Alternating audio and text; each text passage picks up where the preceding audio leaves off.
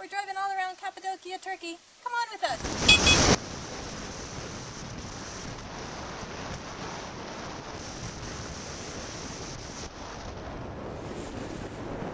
Hi, it's Erin from Go Erin Go. We're here at the Keşlik Monastery. Welcome. Come on up. I'll show you around.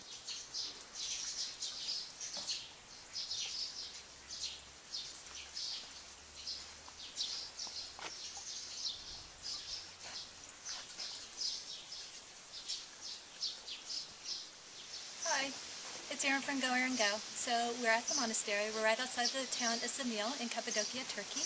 And we're here at the Stephanos Church. So it has a big monastery with baptismal. And then there's a second part of the church over here.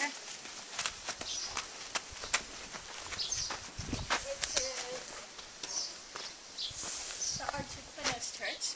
And this actually has a whole rectory above it. So we're going to go and check it out now.